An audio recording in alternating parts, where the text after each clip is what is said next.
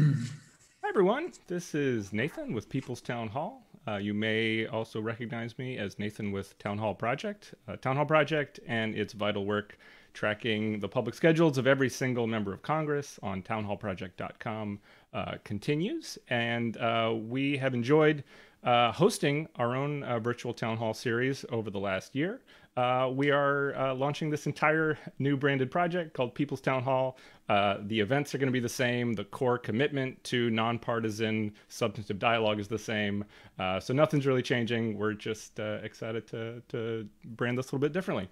Um, I also I'll refrain from editorializing on whether it's a good piece of legislation or a bad piece of legislation or somewhere in the middle. Uh, but I think it's safe to say um, Congress this past week uh, passed one of the most significant pieces of legislation uh, that I can remember uh, the American Rescue Plan, um, going to uh, impact nearly everyone's life in some way, big or small. Um, and I know it was a, a a grueling process getting it across the finish line with some late nights and uh, at least one late night that became a, a next day uh, vote-a-rama. Uh, so I hope you got a little shut eye, Senator Wyden, um, but glad to have you back in Clatsop County. Uh, and thanks for joining us for the town hall today.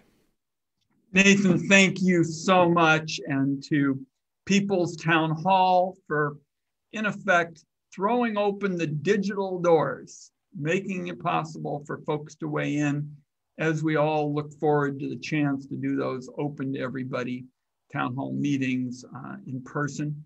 I've had 970 of them.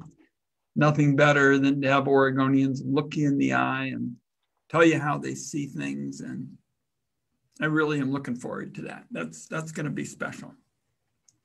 I also want to today thank the Astorian. Uh, I'm in their offices today.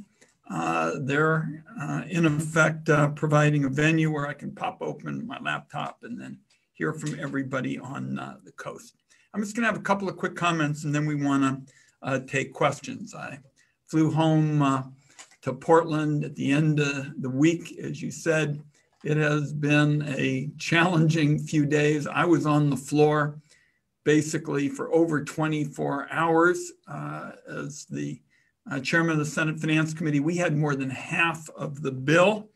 And I will just um, tell you my view is this relief package is an essential booster shot for Oregon and for our schools and our workers and our small businesses and our health. I think this bill gives us a chance to see better days ahead. And I can only tell people who are following us today if the Senate, if the Senate hadn't provided this booster shot this weekend would sure be looking different for the Oregon coast and for our state.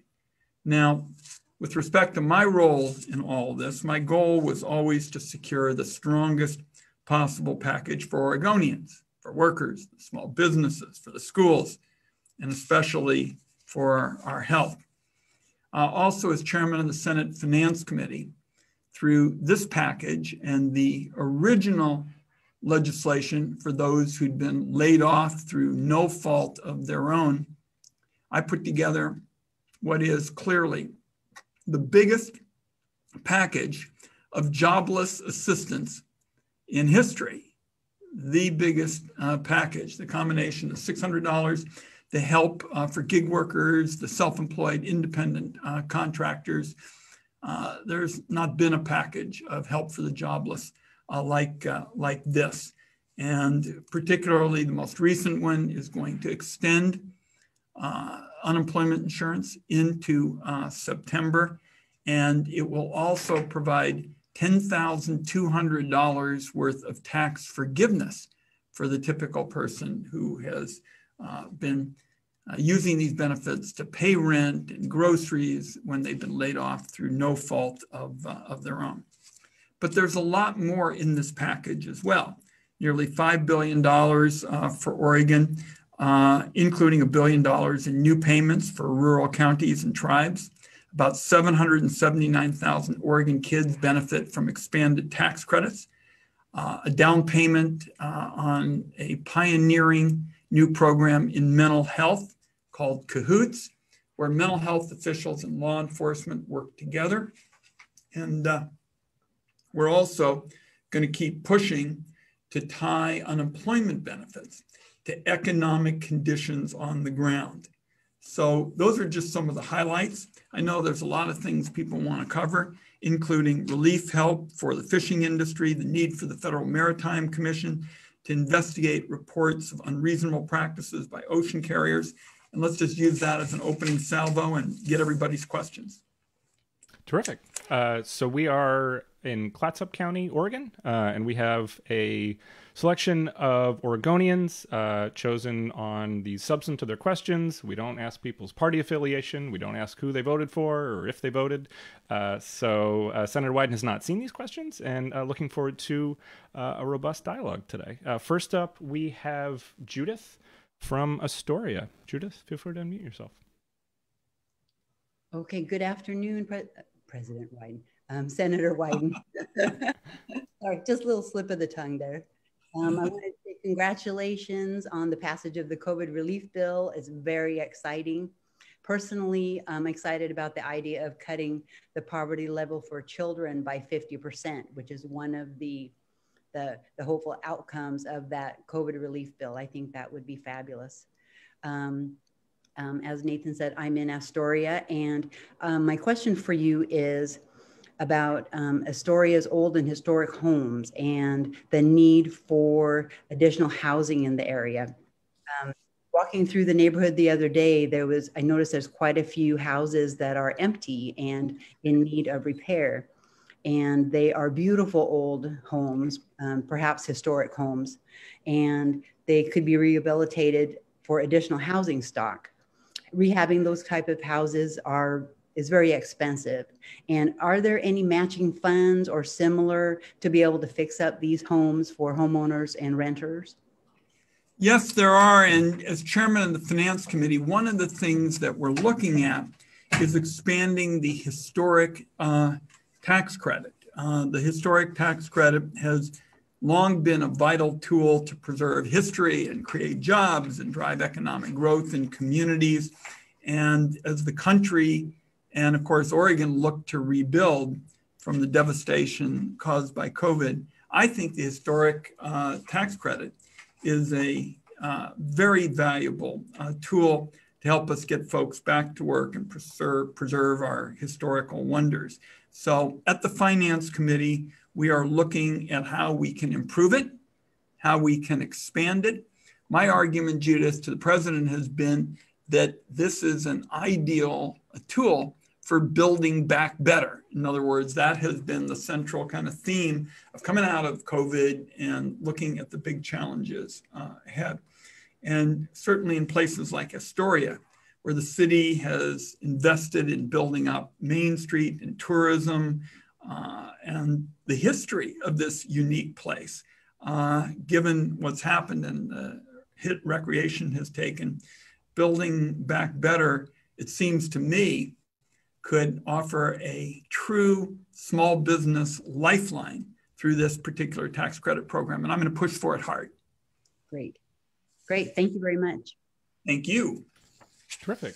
Uh, next up, we have Jessica. Uh, Jessica, you should be able to unmute yourself. Hi, Senator Wyden. How are you? Here you are. you able to hear me? Hi.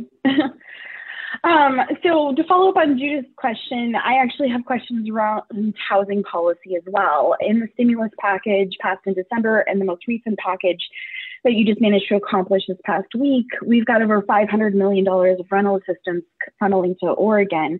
And I'm wondering what you're going to do to work with your state partners to make sure that that aid, that rent assistance is distributed quickly and efficiently um, I think the need has been pressing, and unfortunately, some of the programs that have been working towards distributing those funds haven't executed it well over the past year.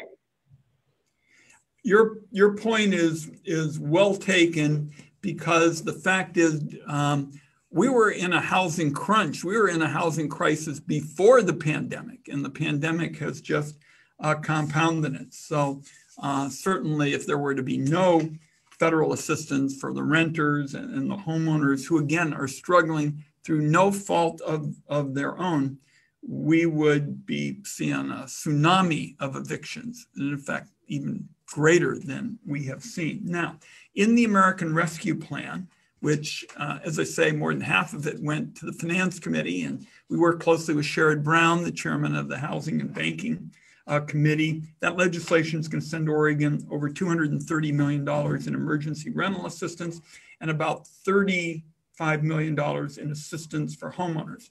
That's on top of the money that we're still focused on in terms of December, the $280 million for rental assistance for Oregon. So if you kind of put these pieces together, um, the enhanced unemployment that, that I mentioned, the economic impact um, payments, the help that folks can get uh, through their uh, utilities, I think then we're in a position to be able to move more quickly than we have in the past. I have been talking to the Treasury Secretary, Janet Yellen, for example, about ways in which Treasury can work with the state and local communities to get this critical rent relief into people's pockets as quickly as possible. Uh, also, there's an expansion of the low income housing tax credit, what's called LIHTC, um, by placing a minimum floor on the value of the 4% um, credit. I think we're going to get a lot of uh, people interested in making those kinds of investments. And LIHTC has been something that uh, residents have liked and developers. And apropos of this point, I think you're talking about, which is getting the help out more quickly. I've got the message loud and clear because I have said you can have the best priorities in your heart in terms of unemployment and housing and healthcare. But if you haven't done the implementation, then people still aren't able to get on with their lives and get on with their dreams. So, message sent. And I want you to know, as chairman of the finance committee, where we had much of this legislation, and where Sherrod Brown and I are working very closely together on the housing, I am going to watchdog the implementation of this every single day. Fritz Graham, by the way, is here from our office, and um, call him nights and weekends, and uh, just let us know if there are um, any areas where you think we can speed it up, because I understand clearly that if there's a big gap between writing a bill and getting it into people's hands, that still means that folks can't get on with their life. Uh, exactly. I mean, I think the expansion of um, resources at OHCS would be critical and be able to get that. I'd be happy to have a follow up conversation about some of the challenges with the Landlord Compensation Fund. Um, I'm literally still working on the first round development changes in the software this weekend um, in conjunction with them. And they, they've done everything they can with the resources they currently have. However, they don't have enough people to be able to execute this well. So I appreciate your attention to that. You also mentioned the expansion of the LIHTC credit and making sure that affordable housing is funded in the future. What do you see on the horizon?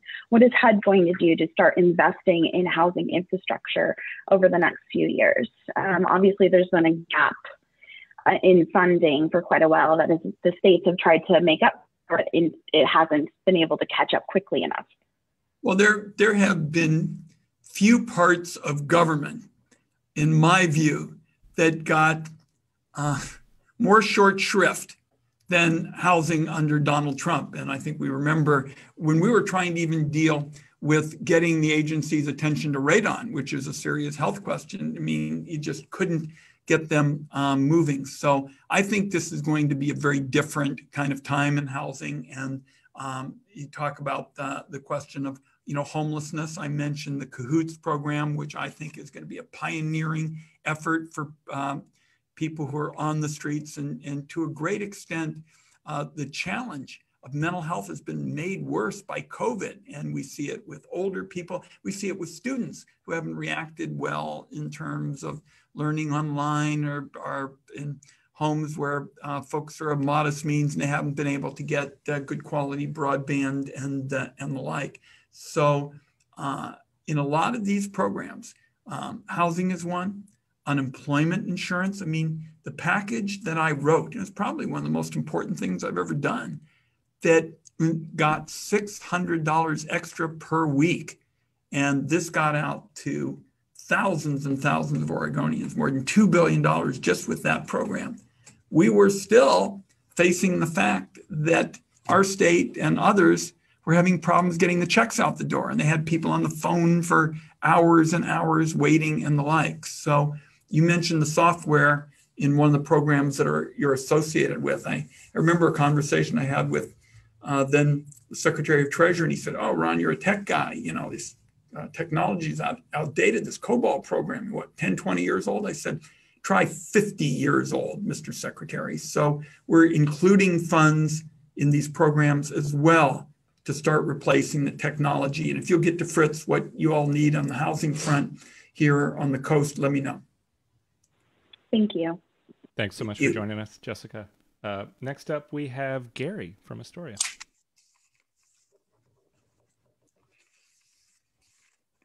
Gary, feel free to unmute.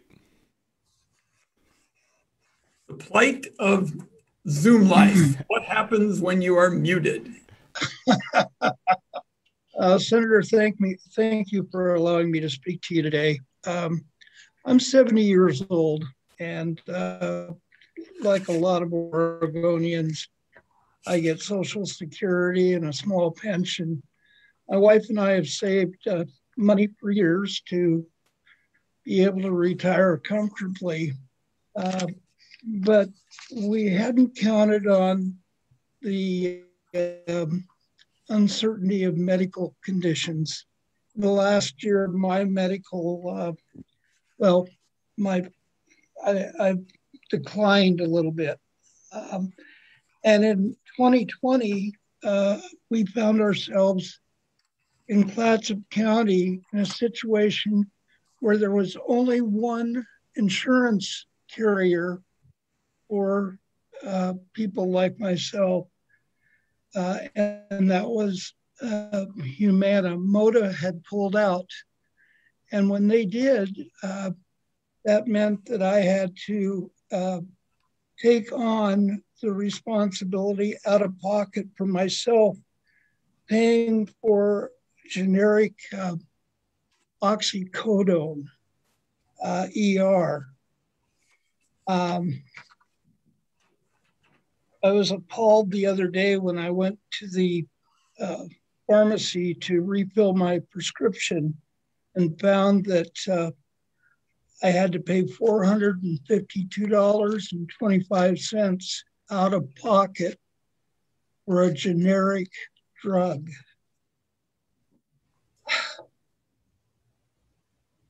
I don't care how much money a person saves in his lifetime, that's a crunch. And uh, just to give you an example, there are six pharmacies in the local area. They go anywhere from $452 at the low level all the way up to $700, $712 at the high level. There's no inexpensive place to procure this drug. And it's all the same stuff. It's generic oxycodone.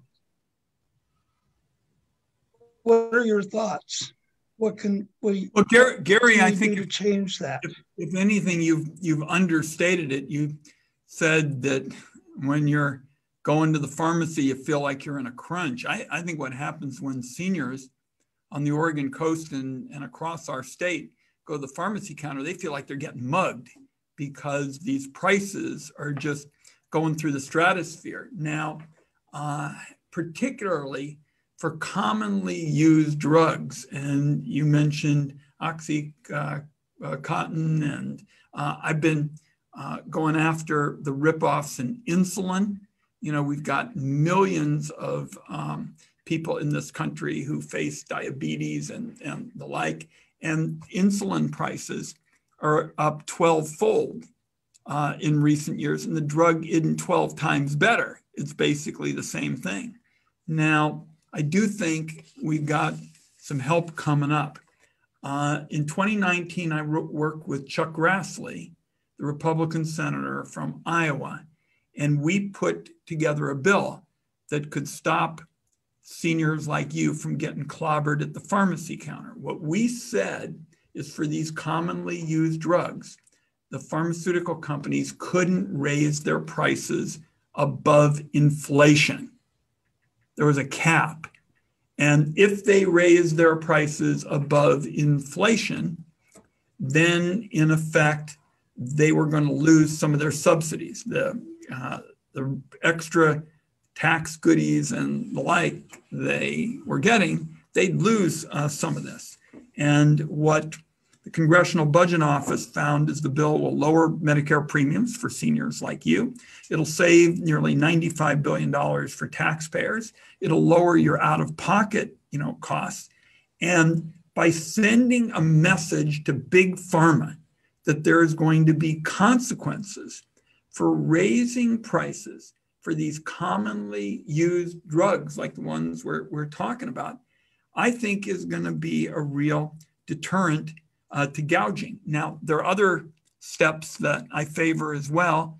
Uh, there is a ridiculous uh, rule that prevents Medicare from negotiating to help seniors like you to hold down um, prices.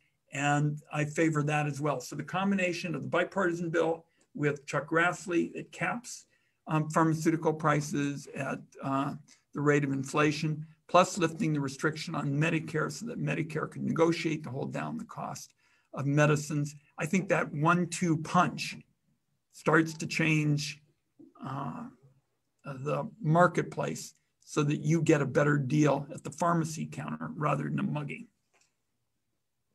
Well, that's all well and fine, but is there a timeline on this? What, when could we expect well, something like this to take place?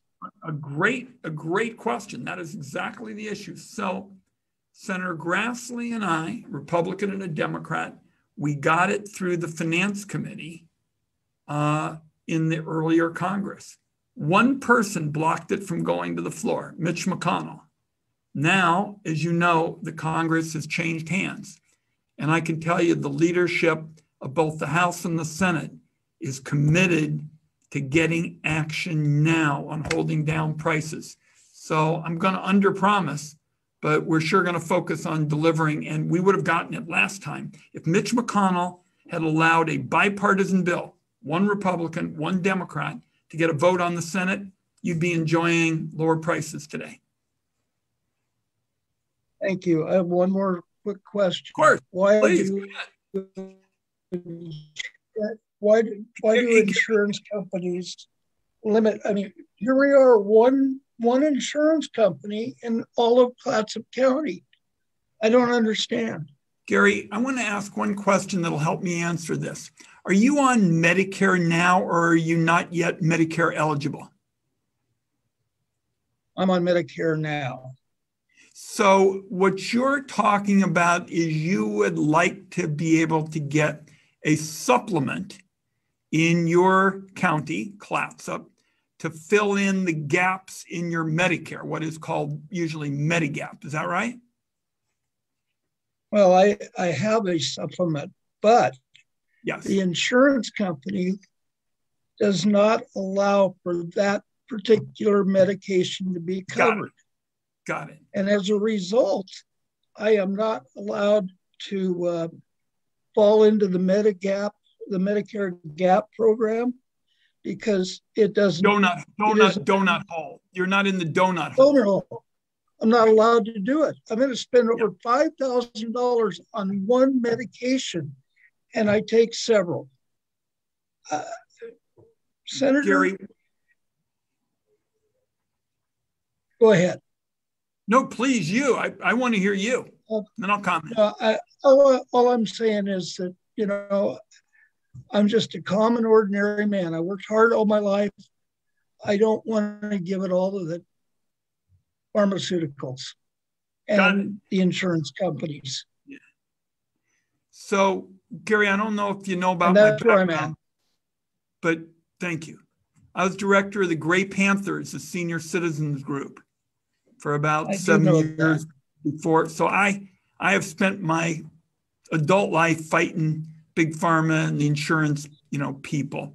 And I think it's a disgrace that people like you who've worked your whole life are still kind of weeding through all this red tape and bureaucracy just so you can afford your medicine.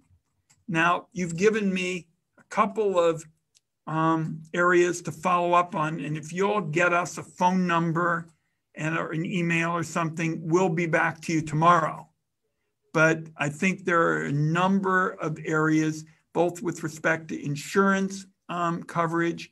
I also want to see um, if uh, Part D of Medicare might be of some help to you. Just give us until tomorrow to work on it. But I will just tell you, um, we're spending $3.8 trillion a year now on healthcare. We can afford to make medicine affordable for people like you. And this is my top priority right now for seniors. Top priority. And if I'll tell you, if Mitch McConnell hadn't blocked our vote, you'd be getting relief from some of your medical medicine bills right now. Right now, you'd have relief. Okay, so you'll get you'll get a phone number and an email to uh, to town hall, and then we'll be back at you. Fritz will be back at you tomorrow. Okay.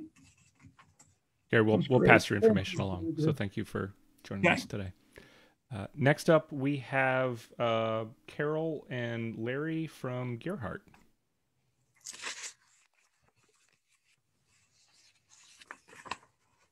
Hi, Senator Wyden. Um, thank Hi, you for Carol. answering my question today. Um, I am um, frustrated over this COVID pandemic and um, trying to get a vaccine is just seems to be um, very frustrating. Um, I've heard other other states have um, you know federal buildings set up. Mm or FEMA buildings set up, um, you know, to distribute vaccines. And I just feel like our county here is kind of um, lacking in services. Um, I have a rare lung disease. I'm only 61 years old. Um, according to Oregon's Health Authority, I am eligible um, no later than March 29th, and which means I guess I have to just keep checking to see if I ever will be eligible by then. Um, according to Oregon Health Sciences, Oregon Health Sciences University, I am eligible. And when I try to sign up for a vaccine, the appointments are usually all taken within minutes. Um, so I'm not able to get a vaccine. And I would kind of like to get one because I have a rare lung disease and I also have a heart condition. So um, I'm wondering, you know, what is Oregon doing to what? What what's Oregon doing and FEMA to, to try to help us get a vaccine here in Clatsop County? Yeah, there are a number of, of points to this, Carol, and let's kind of give the update for folks too. Um, in the uh, president's speech a couple of nights ago, he said he's going to have everybody eligible by May 1. Now, you have gone through months and months and months, and clearly you're um, somebody who uh, is particularly concerned, and rightfully so, because of the health conditions that you have. And I'll just tell you, I think the fact that the Trump administration did not use the Defense Production Act so that we could get more vaccine out across the country, that was, in my view, a significant factor in uh, the tardiness of getting some of these vaccines out across the country. I mean, if you look at what we've been dealing with in Oregon, and as you know, this has been a state judgment about you know the queue and the like. Every time I hear about teachers being pitted against seniors and seniors being pitted against you know someone you know like yourself who's been waiting and waiting, I say, my God, if you get enough vaccine out across the country, you make this whole debate irrelevant because there's enough vaccine to go around, and then the question becomes how do you get it in people's arms? In other words, you have the vaccine, you get it in people's arms. A couple of things. Um, Senator Merkley and I have been um, pushing federal health authorities, what's called HRSA, to set up um, centers, which they have begun in order to get um, these services out. I also think we ought to use the live venue sites, which I thought were a natural since we've got a lot of them that aren't being used now. But I mean, the fact is, for literally months and months, we didn't have anybody in charge. You know, one day it was Jared Kushner. The next day, you know, the state was going to do it. The next day was going to be something else. So uh, suffice it to say, I'll tell you what I've seen my role is primarily is to get as much vaccine out to Oregon as we could to help with what's called the PPE, the protective, you know, equipment, um, and then also to help with the healthcare workforce. But if you'll give us um, a phone number and an email, we'll get on the phone. And if you've got some indication that you'll um, be able to get your shot on March 29th, it's a state thing, but we'll get on the phone and we'll go to bat for you. Did you want to follow that up?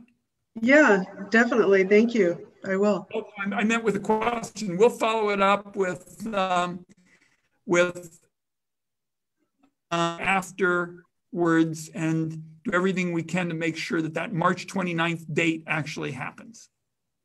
Sounds great. Thanks for joining us, Thank right. you. I'm sorry. My heart, my heart goes out to everybody who's waiting like you. It's just, it's just heartbreaking to see vulnerable people have to wait. Thank you. Thanks for joining us, Carol and Larry. Um, next up, we have uh, Nancy from Astoria. Hi, Senator Wyden. Um, thank you for holding these town halls. I really appreciate the efforts and, and public engagement. And um, today is the one year anniversary of Breonna Taylor's murder. So I'm curious what you're doing to support the Black Lives Matter movement and specifically police reform legislation. Yeah, it's, it's particularly important that we reflect on this because it's literally one year since the fatal shooting in Louisville of Breonna Taylor. And I guess I start with the proposition that those three words are right. Black Lives Matter is a judgment that's true, and it's a long recognition of a fundamental uh, fact.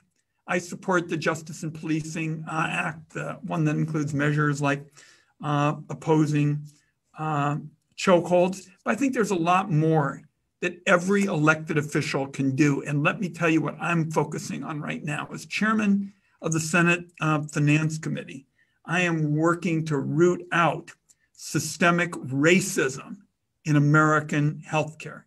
And these racial disparities in health have gone on for far too long. I mean, I can just tell you, Nancy, I've seen in affluent white suburbs where they have every type of terrific healthcare and then you see in the Black community that healthcare services, it's, it's a healthcare desert in terms of a shortage of uh, services. So I'm really zeroed in on a few key uh, areas. Uh, maternal health, because we see uh, the problem being much more uh, serious for Black moms than well, white moms. And I mentioned mental health care, and particularly the availability of um, services that uh, we're seeing in great um, demand right now. I also want to um, make a final point with respect to the last few nights uh, in Portland. I've heard this argument that the vast majority of peaceful protesters are the same as the small number of criminals committing these violent acts and breaking windows and um, setting fires and the like. I do not think these are the same. You know, peaceful protesters are working with every fiber of their being towards a justice. And breaking windows, engaging in violence, setting fires is criminal behavior. And I just want people to know that I'm going to keep standing with Black leaders and leaders in all communities of color who have also been out there denouncing these criminal acts again and again and again. And it just comes down to one proposition, and this is going to be my view, you know, forever, and that is I'll stand up for peaceful protest, and I'll, uh, in every way, try to stop uh, violence from any part of the political spectrum from any quarter. Thanks for joining us today, Nancy. Uh, next up, we have Robert uh, in Astoria. Robert, I'm a little slow to get your camera on. You should be ready to go.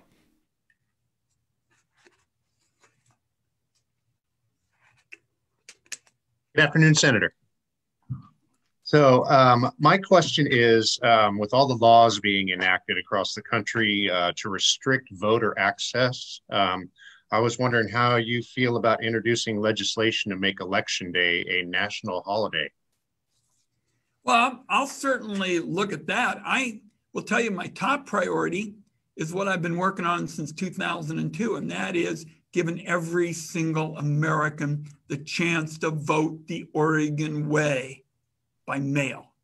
I'm the nation's first mail in United States Senator. Our second senator to be elected by mail in America is also an Oregonian. He's a Republican, Gordon Smith. And I will tell you that the last election proved the validity of what Oregon has done on a bipartisan basis for 20 plus years. I mean, the fact is that people came up to me over that September and October period and they said, Ron, you know, your bill has become law without it becoming law because we're already voting by mail because we have to in the middle of a pandemic.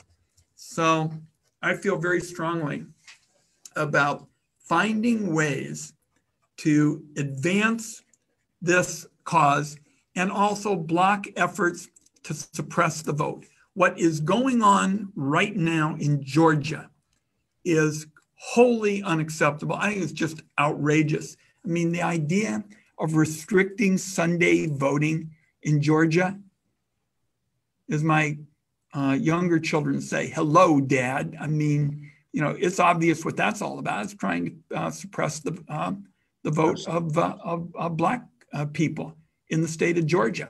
So yes. we've got a, a one two punch here. We've got to stop the efforts to suppress the vote, and then we have to promote uh, fresh ways to expand it.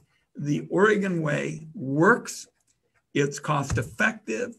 We have not had the fraud. I mean, Donald Trump always hollered about fraud, fraud, fraud. Well, A, he uh, voted by mail, and B, Dennis Richardson, a Republican, the late Dennis Richardson, very conservative, he always told Donald Trump, we haven't seen any fraud here. So I think the real strategy for the future is to take the Oregon Way national. I'm open to a holiday. I think what's so attractive about the Oregon approach is you've got this block of time to vote when it's convenient for you. That's what's so attractive about it. It's cost effective. We haven't seen fraud, and it's convenient for that person who's working two jobs, who's going to school and, and working, who's got a um, three week old and they're trying to juggle a lot of things in childcare. That's why I like I like the Oregon way. Thank you. Thanks for joining us today, Robert. Uh, next up, we have um, Rick, uh, who is, I believe, a city commissioner in Warrenton. Uh, good morning, Senator. I, as a city commissioner in Warrenton, I sit on the group called PSCC, which is Pacific Safety Coordination Council for Clatsop County, which represents all the commissioners, city commissioners in the county of Clatsop. And with that group, or from that group, I'd like to thank you for your for your stance on the mental health things. Uh, I personally had lost a loved one, and uh, it's really a shame the way the state treats people because I don't know if you're aware of it, but now the state mental hospital, because they couldn't meet their guides, reduced who could get in there. They changed, they moved the goalposts. So now nobody can get into the mental hospital, as I understand, unless they commit a felony. And as the sheriff told me, there are people on the streets who should not be there. They're dangerous, but they haven't done a felony yet. And so I have to applaud you for what you've done because Oregon has not done a very good job. And I, I hate to have to say that, but my group is very concerned about the state mental hospital not being able to get people off the street that need help. You know what I can tell you is there's a lot of history here. As you might recall, some of it goes back to Ronald Reagan days when Reagan said, I'm going to close the state facilities because we're going to get everybody places in the community. And people say, yeah, that sounds pretty good. And they closed the state facilities, but there weren't places for people in the community. And this issue is deeply personal in the Wyden household. My brother, mm-hmm. Far and away the smartest of the two Wyden boys, was a schizophrenic. He died way too young. There were years when he was on the street and we worried he'd hurt himself or somebody else. So I'm deeply committed to turning this around. And we have seen an explosion of mental health claims mm-hmm. over this last year. And it's kids for whom online school or no school didn't work out. It's seniors, it's people isolated, it's folks who've been laid off.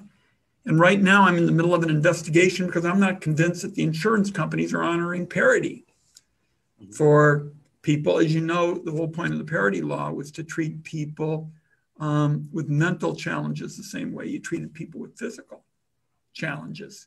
So we're going to make this um, a significant part of the work of the Senate Finance Committee. And I'll tell you, as long as I'm chairman of the committee, um, this idea that mental health is sort of an afterthought and uh, we'll let the insurance companies just tell us what our rights are and the like. Not going to happen on my watch. I don't know if you're aware, Clatsop County has a rapid response team of two people that they send to relief. That. Yes, when I because I crunched numbers, I talked to my my my uh, police chief in Warrenton about that because I said, uh, Matt, I fear that if the mental health were that's needed were provided to the homeless, from looking at the numbers, I'm guessing calls would go down about 40%. And I value the police chief's opinion. He turned to me and says, I think you're about right. That's a lot of wasted police time. And and the the irony is that the police are the first to tell you that they're not in a position from a training standpoint to do mental health. And uh, I saw an article in one of the national publications the other day talking about our bill and said, finally, some reforms that get uh, support across the political spectrum. And, uh, and that was um, something that told me we were moving in the right direction. Well, the last thing I have is because I work with elected officials in Alaska also, because I'm a professional volunteer basically since I'm retired.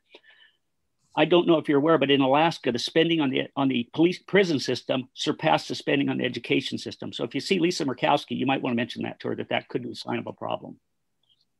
I'll tell her. I'll tell her indeed. Thank, Thank you. you. I'm appalled by that sign. Thank you. Well, and and and it's it's an indication that so much of the social service system just is still, particularly given the amount of pressure that we've seen on it in the last year is in need of, of big, big time reforms. And um, apropos of mental health, you probably heard I proposed taking the CAHOOTS program and embedding it in Medicaid. Medicaid is the largest payer of mental health services for uh, folks of modest income. I think that's a step in the right direction. Yes, I read your article this morning. Thanks for what you do. Thanks. Thanks for joining us, Rick. Uh, we do have time for a couple uh, questions from folks who were um, on the Facebook comments. Um, so feel free uh, if you are watching on Facebook. Uh, we might have time for one more. Um, so it looks like uh, Bob in Astoria um, has more of a comment than a question, but you might have some thoughts, Senator. Uh, Bob says, Thanks for drafting the River Democracy Act. There are critical rivers in the east part of the state that have been designated. We need to find common solutions to dam removal to ensure this proposal bears fruit and keeps wild salmon from going extinct. Well, I, I will just um, tell. Um, you said it was Bob, right? Uh, Bob Rees in Astoria. Yeah, and and I know of Bob's um, good good work, and uh, I think the way I'd, I'd, characterize it is the River Democracy Act, which is a piece of legislation I uh, recently introduced. When we pass it, will be another Oregon um, first. What we did is we said, you know, the way legislation usually gets considered is somebody asks a few people at home and then they go back to Washington, D.C. and write a bill. We said we're not going to do that. We're going to make sure that we get input from thousands of Oregonians. And we invited people to nominate rivers for the special uh, protection of the wild and scenic uh, rivers legislation. Protects them from damming and mining and, and that sort of thing. And look, protecting our rivers is in, is in our DNA. I mean, it literally is something that brings Oregonians um, together and it helps uh, also promote our recreation uh, economic engine. I mean, uh, recreation is now responsible for billions of dollars worth of revenue coming into our state. It is a natural for us to pick up on in terms of, of our economy. And I believe that other states are going to copy our River Democracy uh, Act in the days ahead and uh, look forward, uh, Bob, to working with you on it. I know you've spent a lot of time uh, focused on natural resources legislation. This is something that brings people together. And by the way, the legislation protects private property with respect to federal land managers. They're required to put together plans that reduce fire risk. I saw some of those fires that uh, um, I saw what some of those fires did when I was coming uh, today on the drive uh, from Portland. Uh, we've seen a lot of communities hard hit, and I think we can do more to protect both our rivers and our communities with, with the River Democracy Act. Great. Thanks for the question, Bob, and thanks for your great work. Uh, last question we have is from Laura uh, in Seaside, um, who has, she doesn't have a specific question, but she just says uh, support for ending or at least reforming the filibuster. I'm sure you've got plenty of questions about this, Senator Wyden, but uh, would love to hear your your latest thoughts. Sure. Let, us talk about the filibuster, and I'll, I'll touch on a couple other things before we wrap up. Um, I am very much for what has come to be known as the talking filibuster. So, what supporters of the filibuster have always said is this forces people to get together and try to work legislation out. Opponents of the filibuster say, you know, look, there's just a bunch of stonewalling. Let's go to majority um, vote. I will tell you that after Oregon voted twice for death with dignity in the House of Representatives a number of years ago, they actually passed a bill to overturn what the voters of Oregon had done. And I hadn't been in the Senate very long, and very powerful people back there were aligned against Oregon. And I said, Look, you may think we're small and 3,000 miles away from Washington, D.C., where you think you got all the answers. Uh, you may think we're small, but I'm not going to sit around if you try to roll us. And so I said, You try to pass this in the United States Senate. And you better be prepared to come on out and make the case why you want to overturn what Oregonians have done. And their bill was so bad in the House, they didn't even want to try and make the case because not only would they have uh, hampered our death with dignity law, they would have made it more difficult for physicians to actually treat patients for pain. I mean, just think about that. That had nothing to do with death with dignity. That's about physicians being able to use their education to treat patients for pain. And just the fact that I said, I'm going to really make you come out on the floor of the United States Senate and defend your arguments, your argument for getting rid of what Oregonians had voted for really helped us win the day. But I was prepared to go to the floor of the United States Senate and, pardon the example, talk for a long, long, long, long time. I wasn't going to say I object and then go off somewhere and play golf with somebody, I was going to do what it was going to take to defend Oregon. And we prevailed and didn't actually have to go forward with the whole thing. So I think that is a kind of middle ground. Now, if that's unacceptable to Mitch McConnell, we'll still try to work on bipartisan solutions. But if it's a protest just for the sole purpose of protesting and it has no constructive motivation, you got to get on with the people's business. That respond to your question about the filibuster? Well, it was a written question, so hopefully it does. Uh, Laura, feel free to let us know in the Facebook comments. Uh, but uh, I, I, think it's pretty straightforward. Um, so that is it for our Clatsop County Town Hall. Um, we thank everyone who was able to join us uh, live.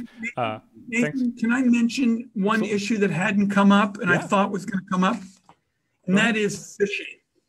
Because fishing families are so important to the Oregon coast. They're really the backbone of coastal communities, and they're really, again, sort of part of Oregon's DNA, part of our uh, special character. And a lot of us worked hard uh, to make sure that seafood in the COVID package, the rescue plan, was included among the commodities that can be purchased using the additional $4 billion that the Senate allocated to the Department of Agriculture. We think that this really could be of help to seafood processors on the coast who are really under very difficult pressure to, uh, to be able to stay afloat. Also, uh, the package that uh, was enacted in December included $300 million uh, in disaster fund for fisheries. And that can be used for projects uh, critical to the Northwest. And, uh, and obviously, we haven't even gotten in yet to the issue of Oregon uh, small ports. So this is something else I'll be pushing hard to try to address as part of my work on the uh, Senate, uh, Senate Budget Committee. But I did want to make special note of that. I also wanted to note um, of just reflecting on the Black Lives Matter uh, point in justice in policing, uh, that that legislation bans no-knock warrants, and that was what was at issue in the Breonna Taylor um, shooting that people are reflecting uh, on uh, on today. And my last point is is that usually senators or chairs of committees give big long speeches and wrap up and like I'm just going to say thank you, thank you. It is a gorgeous day on the Oregon coast. We saw everybody, you know, lined up at stores and other kinds of places. I saw at the, at the fish markets and stuff like that. There were people all lined up, lined up. And I think it just left me with a sense that legislation passed and it's a gorgeous day on the Oregon coast. And you really reflected a little bit on the proposition that there are better, better times uh, uh, ahead. And uh, obviously, we're going to have to keep wearing masks for a while and social distance and the like. But I'll tell you, driving from uh, my place in Southeast Portland to where I'm sitting right right now, I saw, you know, a lot, lot of people taking advantage of another classic beginning of spring day. You know, by by the way, I'm I'm trying to get legislation passed so we wouldn't have to always be forwarding our our watches and our clocks uh, today. And uh, I think uh, making all these changes in your watches and your clock twice a year just a bunch of confusion. And uh, I'd like to I'd like to see us uh, go to something along the lines of what other countries have done, which is just make a determination once and that's it, and you get on with your life. All right, Nathan, big, big thanks to all of you and uh, your efforts in terms of trying to throw open the digital doors, as I, I call it. Um, we're going to keep turning to you even when we can have these meetings um, in, in person. But big thanks for all the good work that you've uh, you've been doing all these years to make it possible for folks to participate at the grassroots uh, uh, level. And we'll just end the meeting with a big thank you to all of you. Thanks to everybody for participating on a, on a gorgeous day. And, uh, and these discussions are in the to be continued department. Thanks, everybody. Thanks, Senator. Thanks, everybody. We'll see you next time.